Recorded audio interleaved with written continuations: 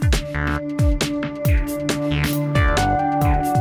A rare comet visiting Earth from the most distant parts of our solar system is putting on quite the show. Check out this breathtaking shot of Comet Neowise over Stonehenge that photographer Matthew Brown captured on July 10th. According to Forbes, the last time it passed Earth was 6,800 years ago. That's before the wheel was invented. Brown says he drove nearly three hours from his home to see the comet, which is visible to the naked eye over the iconic monument, saying, I thought it was now or never for me to head there and get myself a photo of a lifetime. NASA says the natural firework display can be seen from all around the world. Check out photographer Nick Jackson's stunning image of it flying over the Titterstone Clee Hill in England. Even astronauts on the International Space Station got to witness the comet's fiery display from high above the Earth's atmosphere. NASA says depending on local conditions, Neowise will appear in the evening sky shortly after sunset, with its closest approach on July 23rd. Look to the northwest skies above the horizon and below the Big Dipper to spot the comet. It's visible to the naked eye, but best seen with binoculars or a telescope.